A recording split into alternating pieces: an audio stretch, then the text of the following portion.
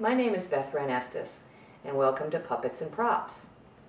I'm filming this in my house, as you can tell, and so you'll occasionally see a cat's tail, and you'll probably hear my granddaughter in the background, who's just a little over a year, and she's very interested in what I'm doing. But I'm going to be doing a little talk about using puppets and using props in your story times. I'm a very active storyteller, which means when I do stories, I integrate stuffed animals and different types of things. Finger puppets, um, I use larger puppets, but I never use puppets and props for reading the book actually, because that distracts the kids that you're presenting to, and that's a problem. So always use the story as the centerpiece and the props and puppets as kind of a supplement. Now, I want to introduce you ah. to Sparky. This is my dragon, and he's a baby dragon. And Sparky is very special because he helps me start every story time I do. And I usually do story times for babies all the way up through about, oh, first grade. And then on family days, we have kids just come as a whole family, and we have, you know, junior high, middle school kids all the way down to little babies that were just born. So, Sparky, say hi. Now, the kids before story time starts, most of the kids that come to story time know Sparky. So Sparky's out. Um, everything else you see here, I do set it up, but it's like behind me. I never ever have stuff in front of me because that just encourages kids to come up and want to touch. I always let the kids touch whatever stuffed animals I have after story time. So Sparky will be demonstrating the story time in part two with me, but right now I just wanted to introduce him. He's a big puppet. He's got wings, and his head turns so that you can kind of talk to him, and he can look down at the kids. And I'll basically do things like, what story are we reading today? What? What? Oh, it's over there? Are we doing Bear Snores On today? We're going to be doing Bear Snores On. And so he actually says hi to the kids during baby story time. I, I actually put him on the floor, more like this, because I sit on the floor with babies. And I shouldn't have bent over, but I actually sit on the floor and he'll sit on the floor with me, and we always do a circle with baby story time. And it's amazing, the babies aren't afraid of him. So it's pretty fun. This is my other bear. I have lots of bears. I'm a, I'm a real bear person. This is Morris. He's my bear. And this was made by a very, very talented librarian who is also a storyteller. And this bear has all moving parts. He can just bend and turn and twist, and he can stand up. And what I really like about him is that you can set him on your knee, and he can look. So sometimes I will just have him sitting in the chair next to me when I read a story. So he's not uh, in the story, he's not moving around and being distracted. It's kind of like he's reading, and I model him that he's sitting very quietly and he's listening to the story. So that's another type, another type of, of bear. And that's my granddaughter Lorelei in the background. All right, you all know about hand puppets. They're so fun. This is a piggy puppet. And again, I like these puppets because you can have one or two on your hands. The kids aren't afraid of them because they're little and you can do great stories that you can memorize, little stories that you can have different hand puppets play with you. This happens to be my pig. I've got a giraffe and a lion and an alligator. I'm going to keep piling these up here. Now, there's all kinds of finger puppets, and I just happen to really like animals. So on days that we do animals, or doing particular stories, I will either have the kids sit down on the floor and we'll go through, and I have big fat fingers, so it takes me a long time, but I talk about the animals as I put them on. And then we'll play Identify the Animals. And I usually will put all 10 on. I've got an elephant. I'm going to put my elephant on. And finger puppets can go with songs, they can go with rhymes, or they can go with just a le- you know a little story that you're going to tell, or just some vocabulary building. So here's an elephant. What noise does the elephant make? Do you know the sign for elephant? And then you'll usually have kids just yell out stuff, and then you want to be able to say elephant, elephant. And so just, there's all kinds of little creative things that you can do. Here's a lion and a bear and a frog. And speaking of frogs, we'll put these finger puppets down and we'll look at these. Now I'm going to just, these are really tight on your fingers, and as I said, I have fatter fingers, so oh. I'm going to have you imagine that I have all five frogs on my fingers. And one of my favorite songs to sing with the frogs is Five green and speckled frogs sat on a speckled log, eating the most delicious bugs. Yum, yum. One jumped into the pond where it was nice as cool. Now there are only four green speckled frogs. And of course, you can tell that it goes all the way down to only one green speckled frogs. But these are very inexpensive. You can get them at lots of bookstores or you can get them online. You just have to type in finger puppets and all kinds of people online sell finger puppets of all different kinds. You can also get the storyboards, and I don't have a felt board, but you can make your own felt boards and you can make all kinds of things so you don't have to spend money. I've been in a library both where you were able to buy props and then I've been in libraries where you had to, you know, you were basically making them. So let's talk about an inexpensive one that you can buy. And this happens to be for Little Red Riding Hood.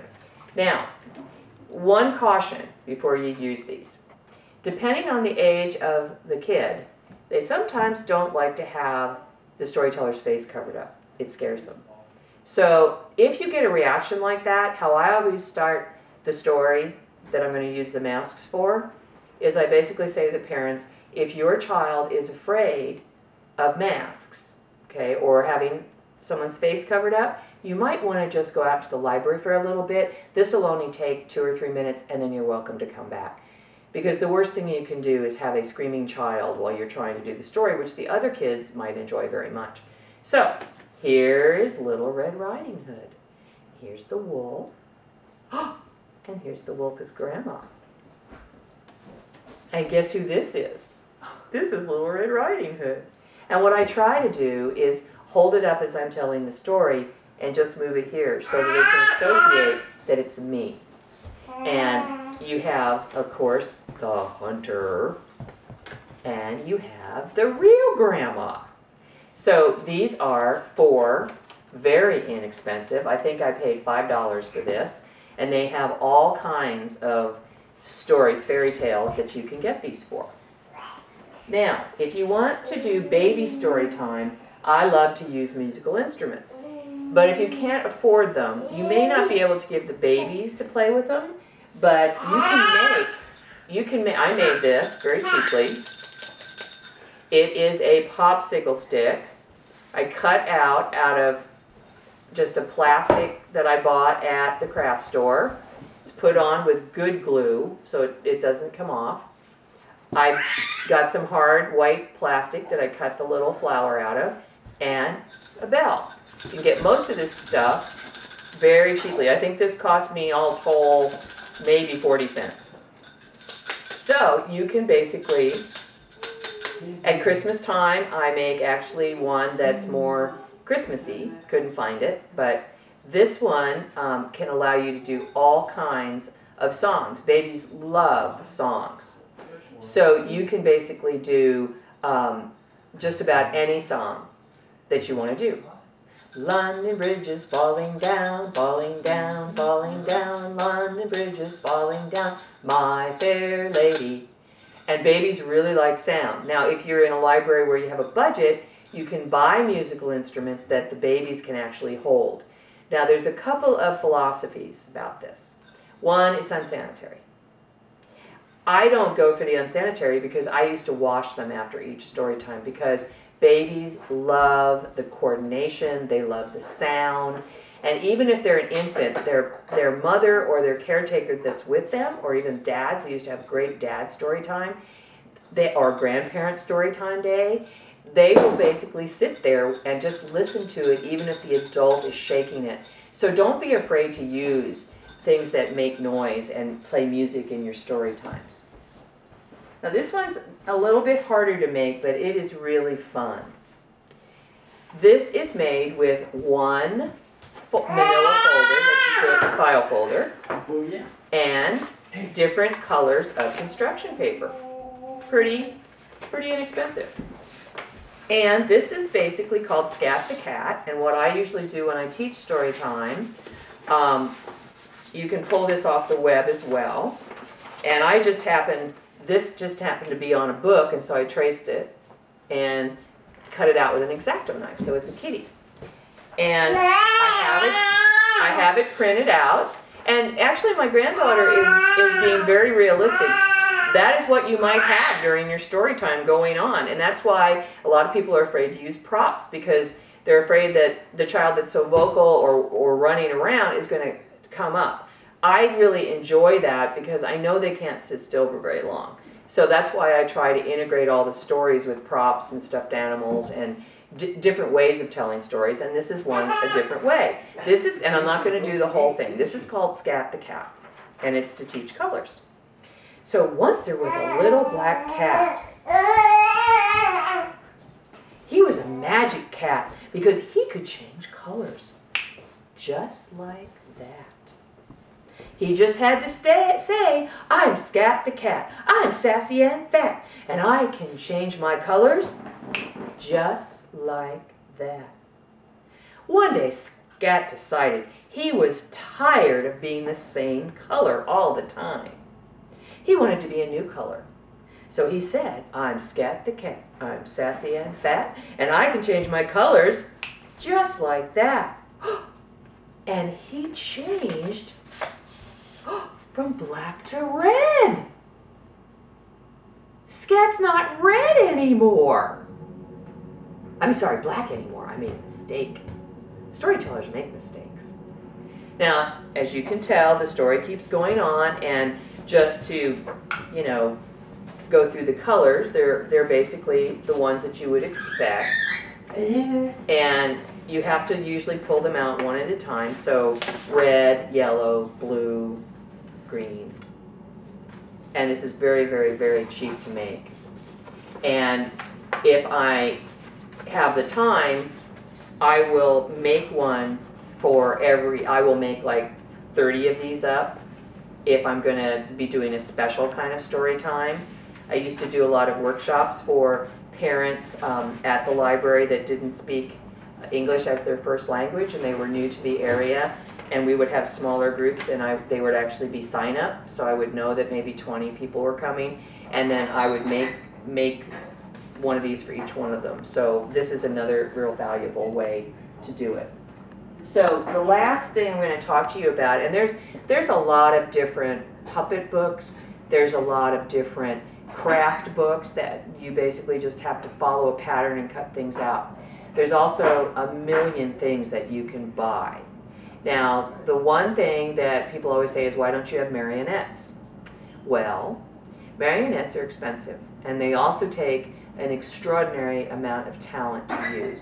You usually have to have a theater, little theater that you can hang them from, and it really takes a lot of talent, a lot of coordination to learn. So I don't have marionettes. But if you ever get the chance to have marionettes, um, or have someone, you know, um, come in and do a program, the children just love them. The other um, prop that I use is I always give them a hand stamp, stamp at the end of story time. I usually have two different kinds, and I usually associate it with whatever the theme for that day is. So I have bears and elephants. I have diff- all the seasons like Christmas, um, and I'm sorry, we didn't call it Christmas. We had called it holiday, so I apologize. Um, we had one for Halloween, for you know, for spring and all that. So what we did was say, now at the end of story time, everybody that wants their hand stamped, come on up, and that's when you can meet all the animals.